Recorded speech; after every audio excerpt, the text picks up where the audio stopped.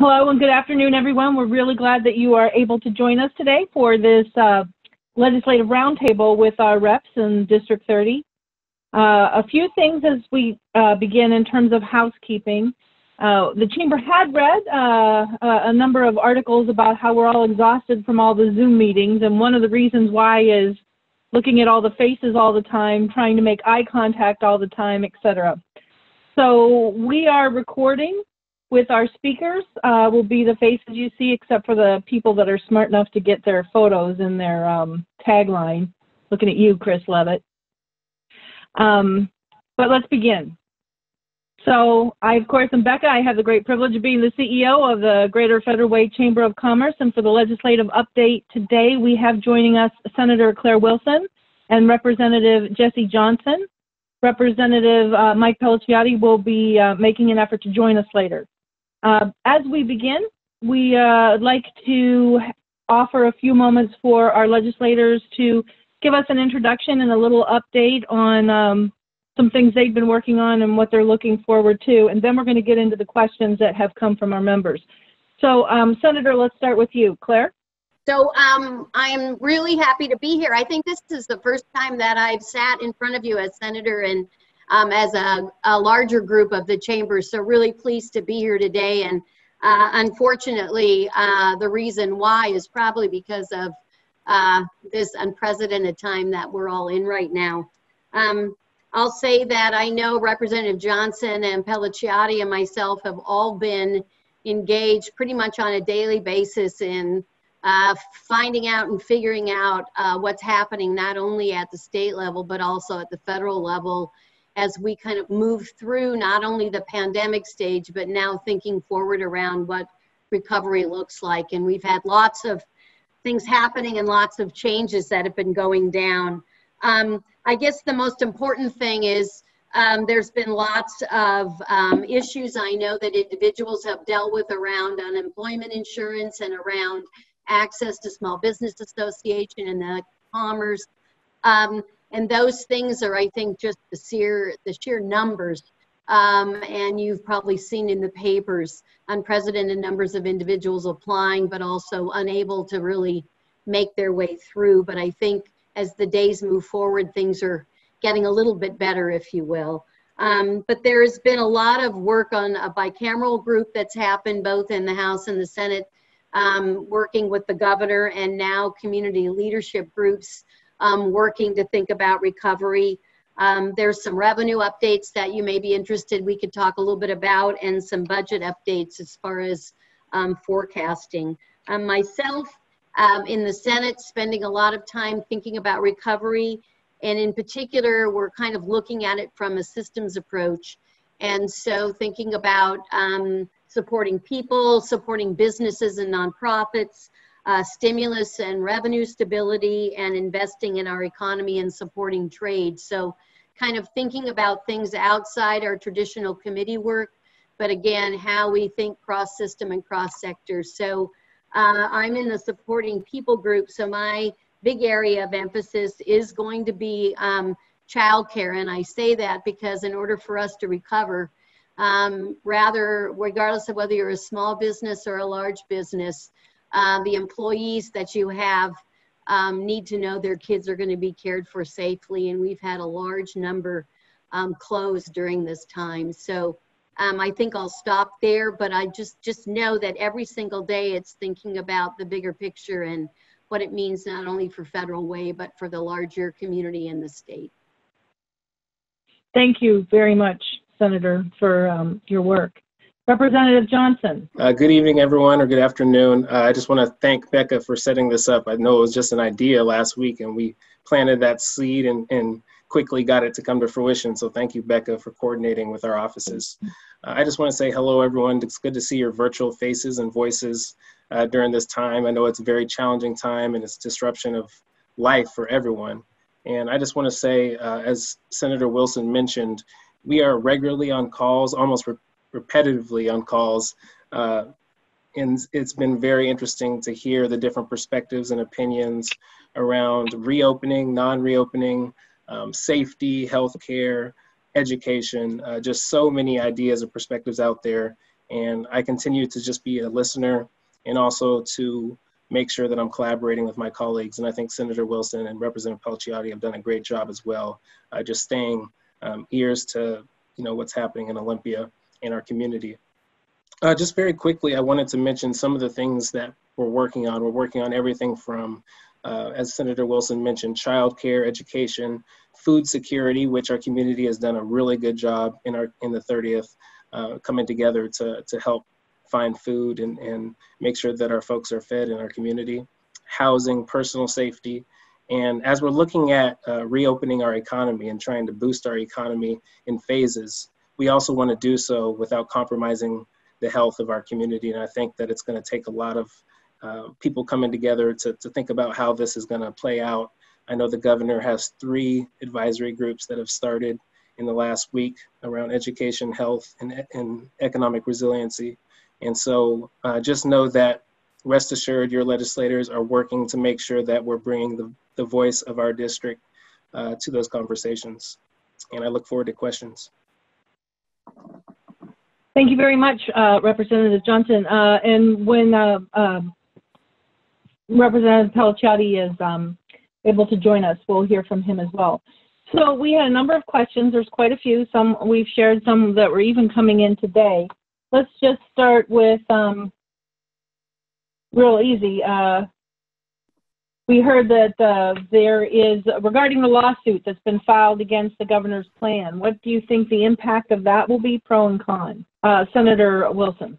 So I was on a call with our caucus today, and right now, from what I know, that uh, it was not initiated by leadership. It was initiated by members um, of the minority party. So um, right now, I think the, the main interest is, is thinking about uh, coming back in in the right way and uh, doing it where we're not compromising the health and the well-being of individuals and moving uh, the lever too quickly. It's more of a dimmer switch than it is an on-off switch. Um, but I do think that you'll see and you have seen there's movement as far as tiering in, as far as how things are being brought in. And on the call today, um, I heard that you'll probably hear this afternoon or tomorrow uh, the plans in place for bringing more folks in on the phase one. So I think, um, you know, the most important thing is they're using uh, the construction phase in, if you will, as the model for how they're bringing other um, industry and other professions in. And so once they have those kinds of plans in place, those kinds of things will be um, will be happening. Jessica? Thank you. Um, yeah. Anything? Yeah, I'll quickly just add to that. I, I think uh, one of the questions that, that I hope is is being asked as as that lawsuit is going through is, uh, you know, first and foremost, safety. As we're continuing to contain the spread of COVID-19, how are we also um, looking at how reopening is going to impact that, and then also asking ourselves how comfortable are workers themselves going back um, going back to work, and you know, what is the consumption behavior pre-COVID-19? Is that going to continue post as we go into this phasing? And so we need to look at um, from all different levels. We need to look at consumers, the, the health of our of our workers and our employees, and then also all, uh, obviously the health of our economy too. But there's just a lot to balance there, and I think the more questions we ask um, to ourselves as policymakers and community, the better we can get the answers. Yeah. I, think there's also an issue of where there has been outbreaks and where there hasn't. And unfortunately, King County is one of those places where we won't see necessarily um, the same things happening perhaps as counties that can open um, once they have a plan in place um, because they haven't had cases of COVID and they've got the ability in case there is an outbreak to, to stop and, and also care for the medical needs of individuals. So um, you know, I think we're seeing things slowly open up and slowly come back. Um, but it, you know, it's going to be a slow go. Um, and those three weeks between phases, two weeks are done for the opening and to make sure there's no outbreak. There's an additional week to get the data to make sure that the data is collected says there's no new outbreak before the next phase opens up, which is why the three weeks are in between. Thank you very much. Um, we had a number of questions about um, essential workers. Um, so try to uh, bundle those together. Uh, the first of which was who who was choosing which jobs were essential, and then the second one, which is a broader question. I mean, are we at the point where we should discuss what an essential worker is, so that there's an agreed definition across um, across the state, not um, just individually? Do you want to take a stab at that one, uh, Jesse first, or Representative Johnson first? Absolutely. It looks like Rep. Pellicciotti uh, just joined us there on Derek's uh, uh, audio and, and, video there. So welcome, Mike. Uh, so just to answer that question briefly, I know that the essential job list was actually based on standards that the federal government and uh, had put together in California's definition of essential critical infrastructure workers. So um, it's based off that federal standard. And so I know there's been a lot of questions of what is deemed essential, um, but I think you know, uh, it definitely can be can be asked. I definitely think that there's uh, a lot of people that feel like construction should have been considered essential from the beginning, or you know, obviously. Uh, different professions should be or should not be, but I think based on that uh, original federal um, definition of it, uh, that's what we operated from. And I think that right now we're looking at um, the Washington Small Business Development Center and is working with mm-hmm. Olympia around um, as we reopen in phase two and three in the summertime, um, hopefully.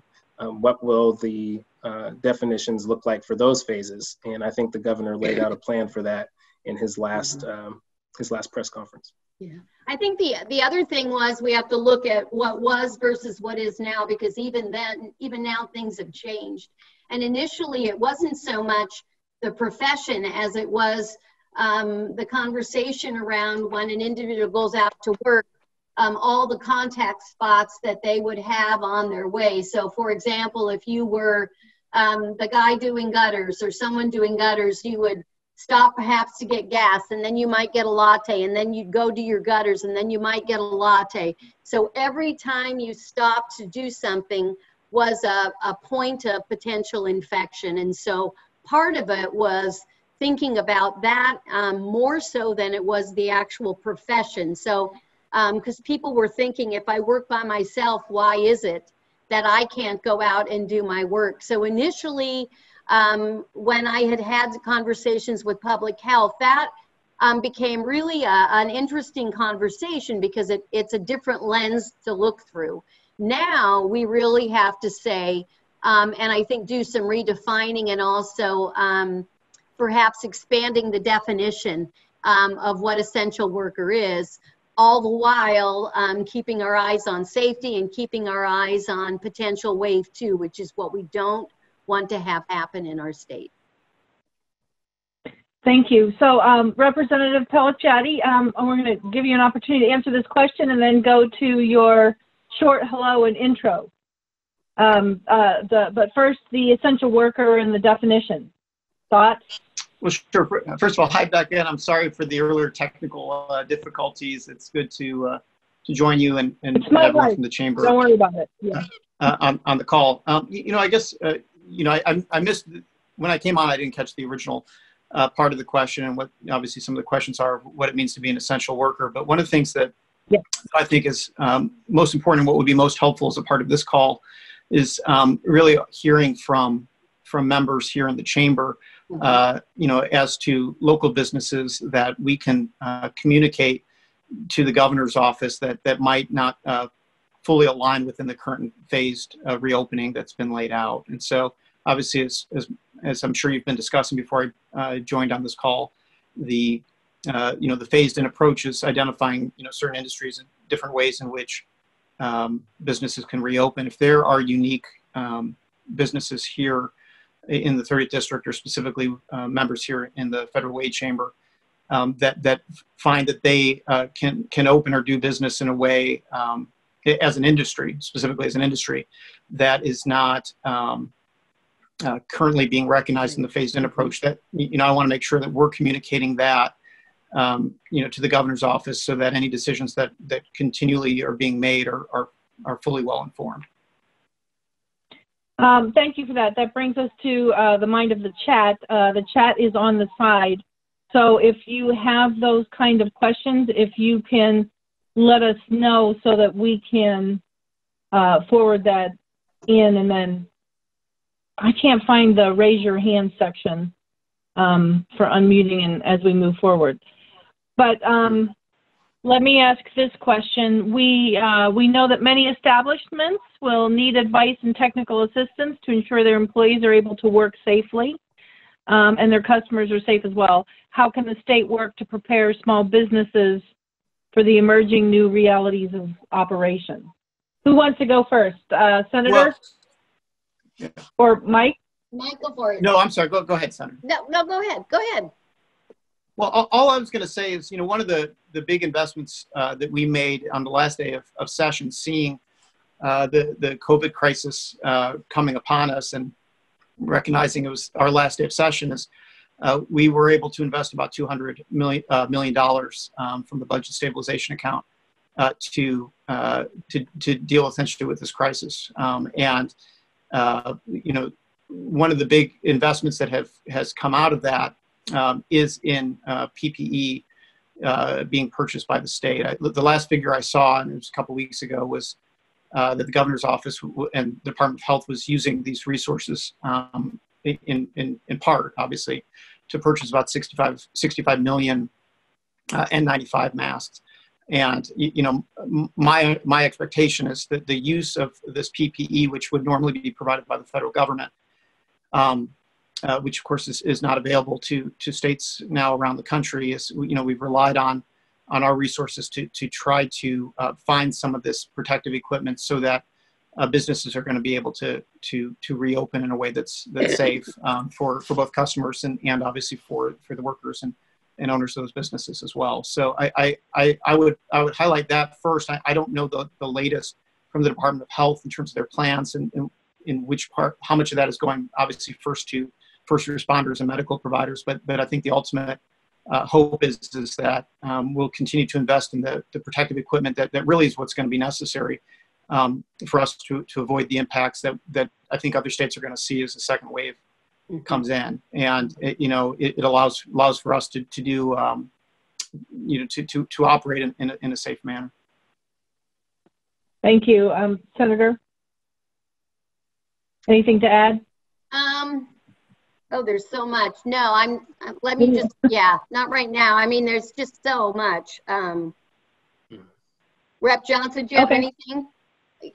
Sure. Um, just kind of going off of what, what Mike said, I think just like how can we continue to create a close alignment between the Department of Health and our business community? I think as construction reopened, um, I think it was a great model, and we had worker and employer groups that negotiated safe practices and what those guidelines would look like and how do they they could follow them, and they had to be modified and then remodified and then approved. All that happened before um, it was allowed to reopen, and so I think the same is going to have to happen in the different phases um, so that we have good cooperation and communication. And also, I think consumer confidence follows public health approval. So when the Department of Health says this is opening in a way that's not going to compromise community health, I think consumers feel more confident going out into the community to um, shop at our businesses. And so, I, or, or you know, take part in business. So I think it's important that that alignment is there. You know, and just following up with what Representative Johnson was saying, I think that that is the critical component of what I think Washington State's trying to do that other states aren't aren't being quite so thoughtful about is, um, you know, businesses opening up, or it's only so good as, as the customers show up, and we need to make sure that that the customers uh, feel safe uh, going out and, and doing business and uh, putting putting those those mechanisms in place so that that, that assurance is is there um, across all industries where we can uh, where we can safely do that. I think is, is really going to be the, the, the, the, most thoughtful way that we, we can approach this that, that really addresses kind of the longer term challenge and, and realizes that what we don't want is a second wave or a second wave that then discourages people from uh, shopping out locally at all. And, um, you know, doing it in a way, again, that, that allows for a smoother transition and reopening the economy. And I think that goes for employees need to feel safe too and feel like um, they're being protected as um, essential workers and as we bring folks back in again uh, concerns about children concerns about family um, and their situations have changed and i think support might look a little um, different or we may need more support for more individuals and i think um, the smaller the business, the more difficult it is for an employer to do that. And, and so it's really going to be a collective uh, piece of work together. And I know that Rep Johnson and um, Becca and I have been having some conversations because it's really critically important. And, you know, the city of Federal Way, as well as our um, surrounding area, needs to, to come together to figure out what that is all going to look like. And the other thing I'll say is there are just, um, you know, there are really quite a few uh, resources available. And the problem, I think, is the sense of frustration and urgency of wanting to access and the inability for people to get the info they need and, what they see as a timely fashion has been really a struggle. I've heard from a lot of small business owners um, who've not been able to get through or have not heard back on things they've sent in. So again, I think I I said this to um, a group of constituents, and I would say that to business owners. I think Mike, you said the same thing. Um, you know, if there are things that you've um, applied for or having a struggle getting information around or hearing back from, um, you know, please do reach out because that is something that from our offices we can um, do a little bit of sleuthing and finding out if it's uh, just the system or whether there's something that's keeping um, things from moving forward. So, um, and I also want to make sure, Becca, that you know we've given um, and that folks have access to all of the resource and the links that are available um, from both the state but also the federal small business, the PPP. There's some other, um, you know, um, other. There's just lists of them. And there's so many acronyms. It's hard to describe. And again, um, at least it's a resource. And for some, it may be what you already know, but there may be some new ones for folks, um, given the nature of what's happening. We can pass yes, those and on to you sharing. Um, the, if you don't know, we do try to keep those updated on our website. It's Fedway Chamber slash coronavirus. Um, when we get anything even related, like you say, uh, FEMA, national, state, um, also county, and of course our uh, community partners. Is um, and I'm I'm I'm trying to see if the mayor is still here, Mayor Jim Farrell. I know that uh, Council President Susan Honda is here, as is Council Person Linda Kochmar. So here's a question that might be a twofold for our senators and um, our city officials, and it uh, involves organized youth sports. Um, they're looking for some clarity on phase three opportunities for youth sports to be able to continue. And then there's a follow-up for our city uh, partners. So I'm giving you a heads up there, Lorraine, for the unmute. But let's um, let's start with uh, our uh, representative uh, Johnson on that one. Phase three opportunities, youth sports to continue. Well, thank you. And I know this question came in. Um, actually, I had a good conversation uh, with uh, Gary Haven of the Little League last week, and then I know Scott Henderson's on the line now. Uh, there is a form right now, um, and I, we can provide it in the link where if you're an organization or a nonprofit, community-based organization, you can apply on this form or a business for that matter, and basically say, um, submit the form and say what you do, what you provide, and there's a number of safety guidelines and measures that you would have to be able to meet and explain how you would meet that for it to take place. But uh, the Department of Labor and Industries is overseeing um, some of this. And so if you submit this form and get it in on time, there may be a way where um, if it's summer league, baseball or fall league, uh, football or whatever, there's a way that you this can be provided in a safe way. But it's definitely not going to happen, I think, for at least the next couple months, which is why this this form is getting out early, so that um, I think the the state level can get a sense for what is happening and, and how we can enact this. And it's also going to take the city as in partnership as well to be able to have rentals for fields and all that. So I know that's a big undertaking, but there is a form to be able to do that, and I can provide that in our in our chat. Yeah. Uh, from, Mhm. oh, go ahead. No, go ahead. Uh, Jim Farrell here uh, with the city. So, uh, what I would say is that we have not heard anything, but we could certainly be a uh, conduit uh, with the uh, Department of, you know, with the uh, King County Department of Health, the State Department of Health, um, to be able to find that information out. But, you know, we just, as you know, made the decision to cancel the Fourth of July uh, Red, White, and Blues Festival and the um, Flavor of Federal Way. So, um, you know, we would certainly, we don't have any. Um, updated information in regard to those youth sports. Okay, thank you. I have hit a button and I've lost everybody. Um, who haven't we heard from legislatively? So what I, I will just add to what Jesse said, what I do know is that, you know, as uh, guidance comes in um, from the phased in professions, one doesn't have to ask for permission as long as you meet the guidance of, you know, the, uh, the distancing and all the other things they're asking about. But this would be one of those special situations where you would have to ask for that and have a plan in place. But I want to really be cautious around thinking when I think about sports, I think a group of children, groups of kids coming together. And uh, we have school that hasn't come back in. There's not going to come back in until potentially in the fall. And even then, it may look very, very different.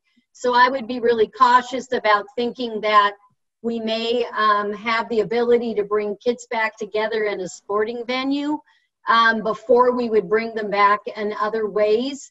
Um, and that just is from thinking through, I don't know that unless there's particular sports where we can make sure that distancing occurs. But, um, you know, I would just want to make sure, as uh, Rep Johnson said, that you there was a very clear plan in place, but um, groups of kids together um, in more than small groups initially for quite a while, I think it's going to be um, it's going to be a tough one. So, um, not saying no, but that's that's a tough one.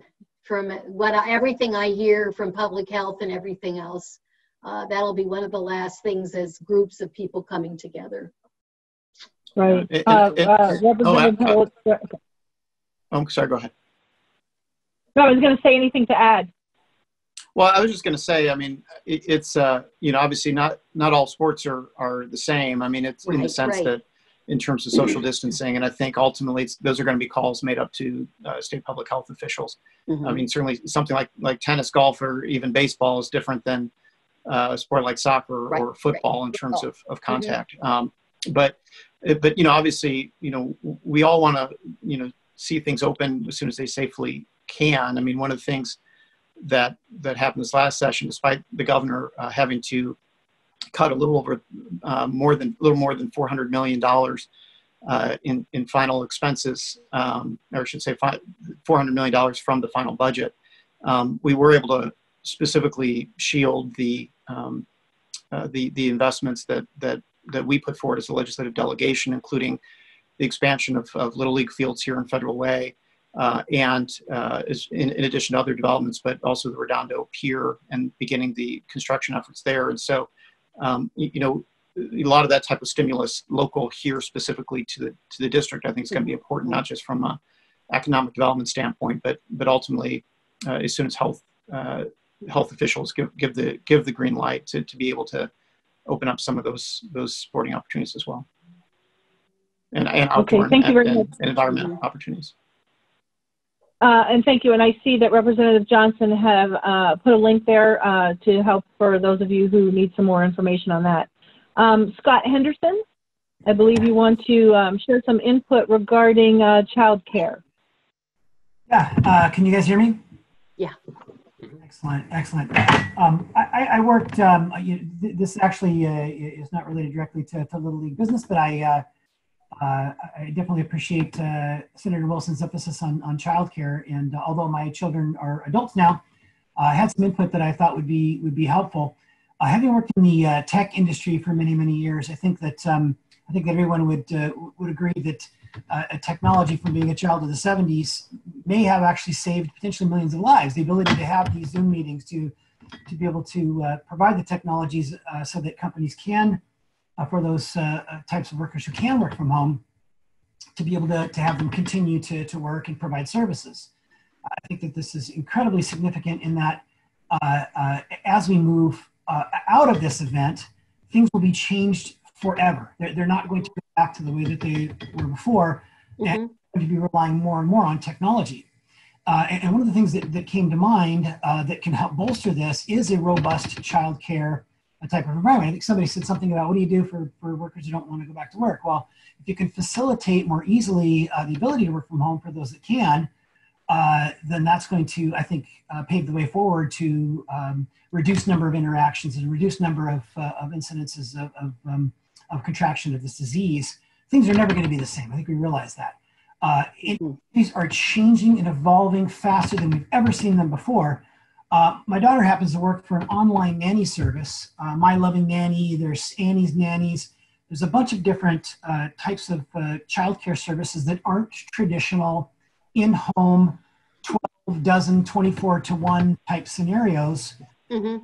that that uh, we can support from a commerce standpoint allow for a robust reopening where people stay in place they don't normally go they don't necessarily have to go back to work the companies are going to continue to support these work from home strategies because they do reduce interaction so anything we can do to try to bolster uh, this this industry that will be you know blowing up and online nanny services where uh, rather than it be um, you know where you drop kid off to traditional daycare but the nannies come to you uh, the problems would be that those are independent contractors that those folks are not going to have traditional healthcare services that they're, they're going to need to have more robust testing and, and but people are going to be more comfortable with uh, closer to a one-on-one type of uh, relationship for childcare they're going to need childcare uh, folks who can come into their home and have this, the, the, the reasonable security that they're, they're not going to be contracting the disease that way.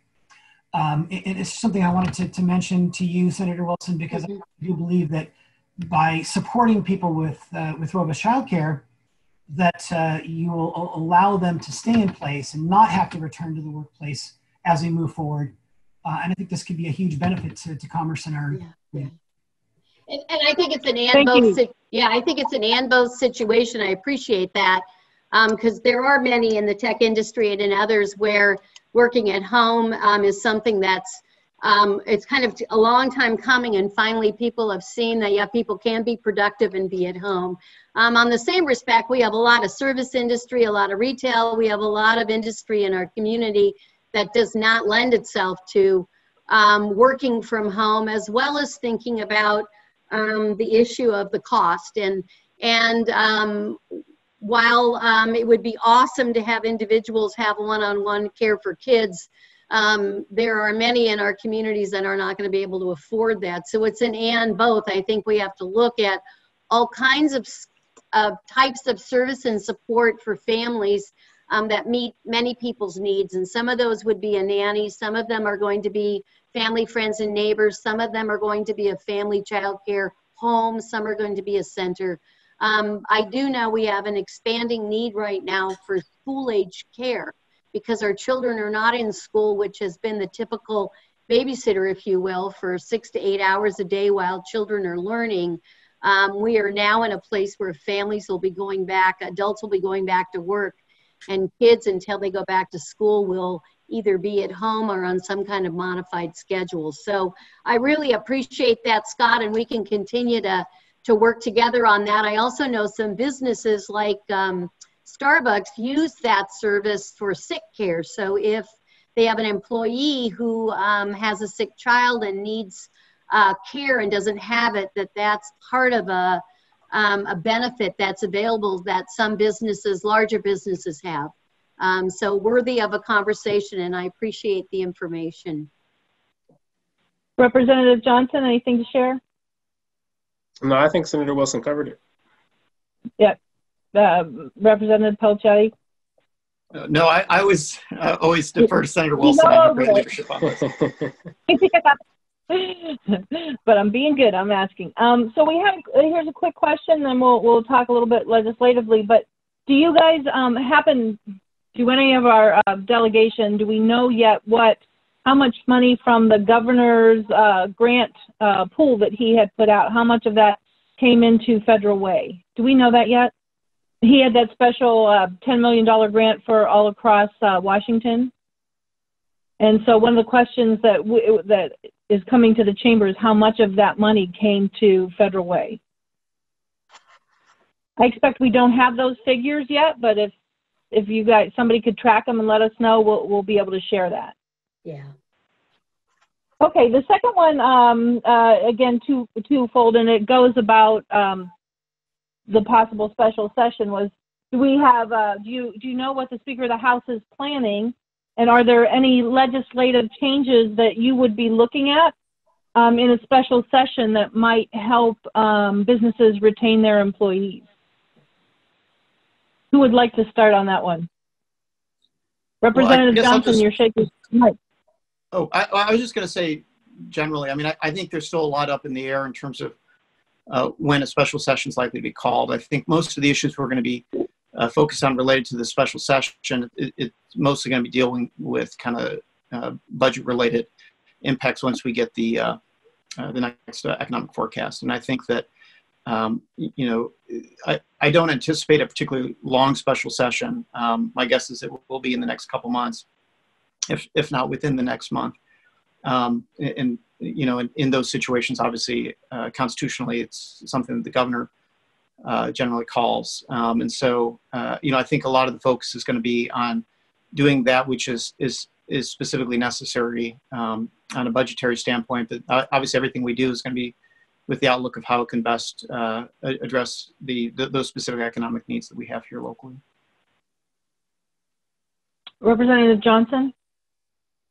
Yeah, I think I think Representative Pellicciotti covered it uh, in terms of uh, when a special session could be. We've heard we'll probably have one more than likely. I, I anticipate we would need one, but um, as of right now, it would have to be from the governor's desk. Uh, I do know uh, moving into um, what that could look like. There is an economic resiliency task force that the governor has put together with legislators and uh, business leaders across the state, and I've kind of been checking in with them, and they're looking at a lot of different things, everything from delayed or deferred uh, taxes, tax payments till 2021 for small businesses. Um, also looking at uh, grant programs for small businesses working directly with their chamber. Um, so that could be something, uh, although we do have a huge hurdle with the budget um, when we do get to a session. And also kind of on a, on a different note, I know that legislators are working around a letter to send to um, our federal de- delegation as well uh, around a paycheck guarantee program where basically small businesses um, would have 100% of their payroll uh, expenses covered for three months from the federal government. And so I know that letter is, is circulating right now and trying to get support as well. So that's, that's kind of what I know for right now, but I know we can't really do too much on the state end until we get to a special session. Can I just, uh, Senator, before uh, your comments, I just, uh, knowing that that discussion is taking place, uh, one of the issues that we had in Federal Way uh, and across the country was the difference between a C3 and a C6. None of the grant uh, programs or the pay, uh, the PPP programs included C6s. Um, and I know that we are lobbying and to get them included as well. But as you have that conversation, to keep in mind that C6 and C3 are both nonprofits and they both need that kind of support. Didn't want to miss my chance there. Senator Wilson. Well, I'll take that with me. As a matter of fact, I just wrote it down on my uh, recovery page for that uh, nonprofit small business group because I think it's an important thing to to think Yes. about. And our nonprofits specifically have had a very difficult time thinking about um, their inability right now to fundraise and to really get the dollars they normally do to provide service for our families and have spent money they don't even have, just like the school district has, that's yet to be um, you know, reimbursed if, if it ever will, um, from FEMA or the other dollars.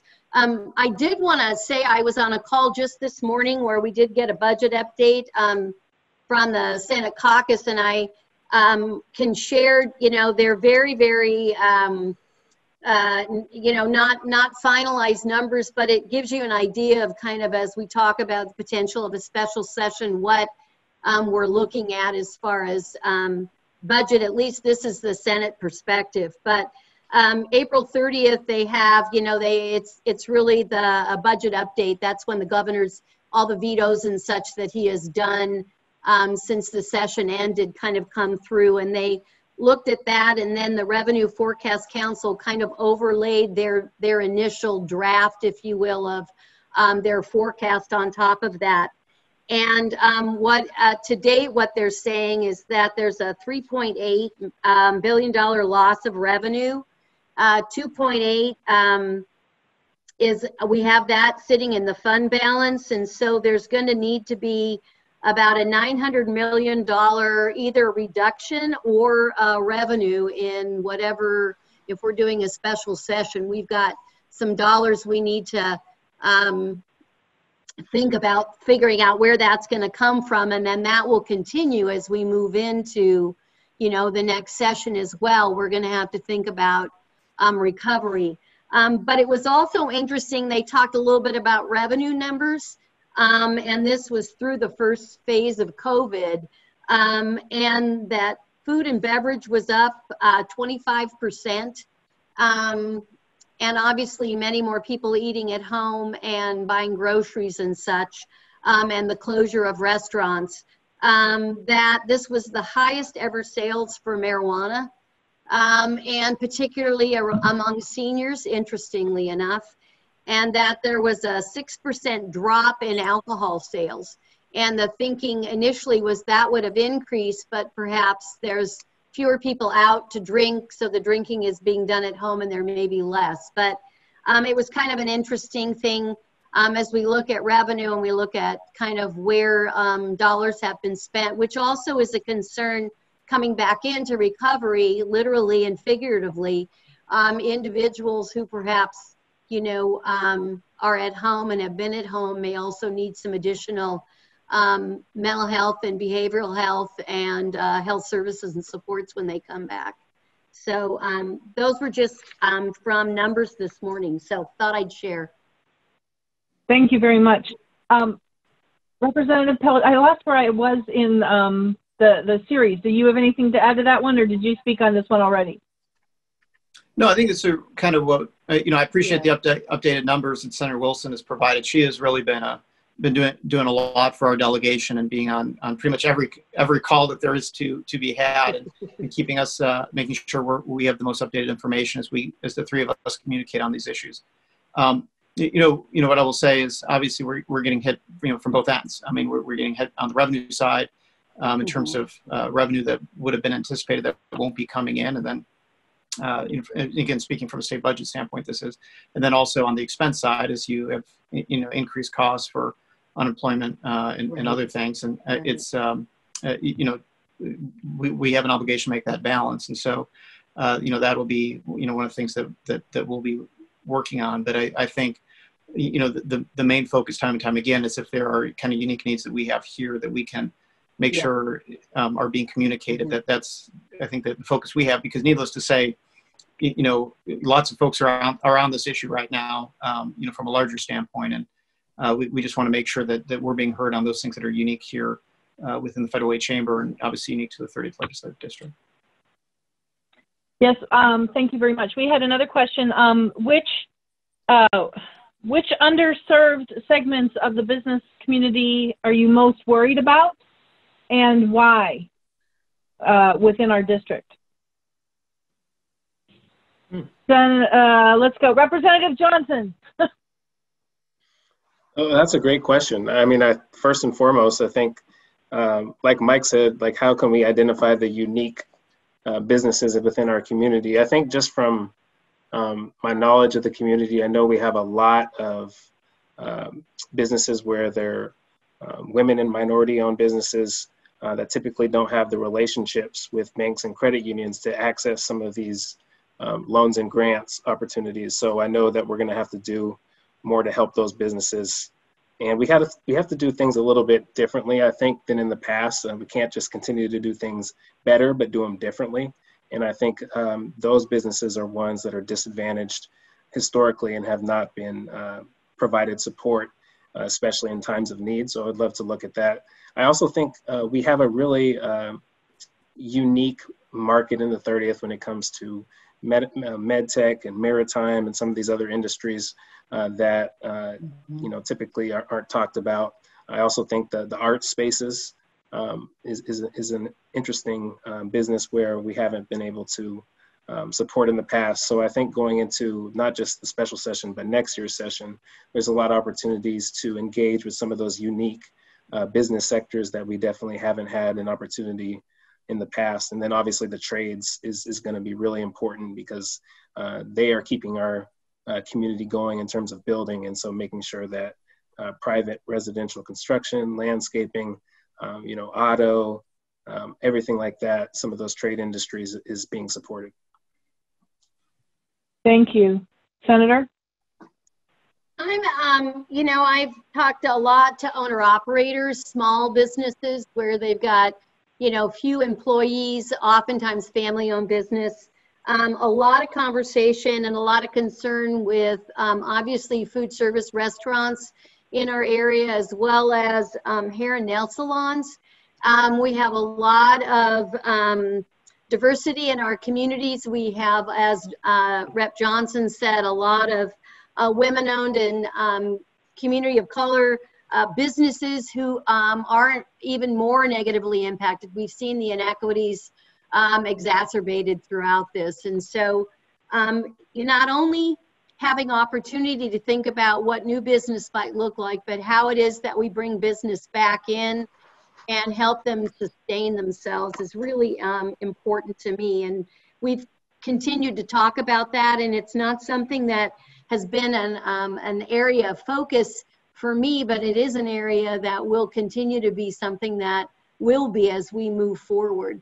Um, and again, um, if I think of the childcare uh, profession, that is again women owned and um, many women of color. And so, um, really, really important that we are supporting um, our small businesses here. So, that's kind of what I think about. I also know that uh, we have individuals that are getting unemployment and perhaps maybe getting more money right now than they um, uh, were making, perhaps with the dollars from um, the Fed, the extra dollars from the federal government. And I know there's concern that um, employers have about what if employees don't come back to work because they're making more money on unemployment. And I think, you know, those are the conversations we need to continue to have and and uh, help people understand kind of the what, the why, and and how we move forward. But I know that's something um, that I've had conversations with folks around.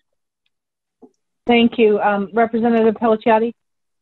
Well, thank you. I mean, you know, Scott had mentioned earlier on his question and comment about uh, some of the market corrections that uh, that that may be occurring, you know, through this. And I, I think that you know the focus that we have is, uh, you know, first and foremost, um, you know, any any impact that's happening, especially to those small businesses that are locally owned, um, and that that um, have employees who who uh, you know work here within the 30th legislative district. We want to be doing all we can uh, to address those impacts. But but you know, in large part, a lot of this is going to be through the regular conversations we've been having uh, with with you, with the chamber, and obviously you know today. But but you know, can, as we go on, to, to look to you for for those things that are kind of uniquely impactful, um, especially among small businesses here here in the 30th. And so I, I think that that's going to be continue the focus in, in which we can have direct impact. Again, like I said, I mean, you know, needless to say, it's this is not something that's just just affecting our region, but it's affecting the state, the nation, and the world. And so, it, it,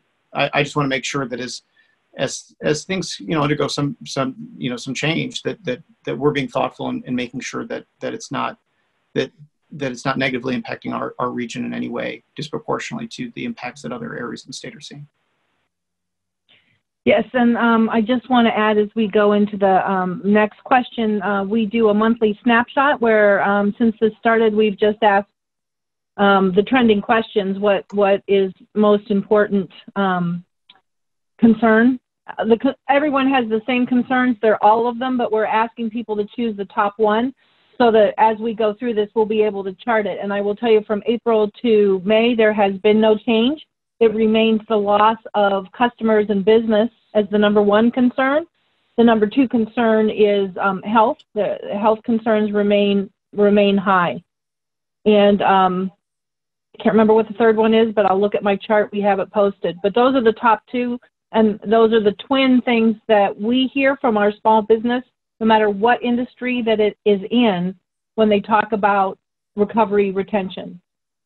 Um, I understand that also um, uh, we have Lake Haven Commissioner uh, Ron Nowicki with us uh, with a question. Did you unmute me? Yes. Um, Wonderful. Apparently you had. Okay, good. You're on.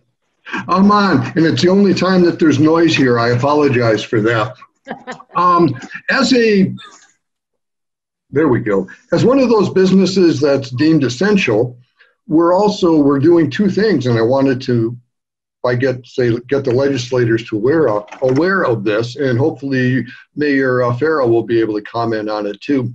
We're told we're essential. We have to do things, but under our public meetings law and under the the governor's proclamation, he says we can't do anything in our meetings other than what's COVID related, regular and usual COVID related. And so anything on projects, stuff like that is outside of what we can have in our meeting. So I want to know if that's also with Jim Farrell's area and, you know, with the city and um, at least make our legislative group aware of that. Uh, uh, Mayor Farrell? So, uh, no, the uh, that actually, Ron, that's not correct. Uh, you can do you can discuss things that are non-COVID related, uh, but they should be in the normal course of business. That I think what they the uh, discretion that the state has has provided is that you shouldn't be doing um, you know major projects or things beyond um, you know the normal course of business. But there is no prohibition about doing things non-COVID related. Uh, uh, thank you. Thank you, Mayor. So we had, yeah, Um, we just had a we just had a three hour long city council meeting um, on Tuesday, and, and we handled quite a number of things, but they, it went beyond that.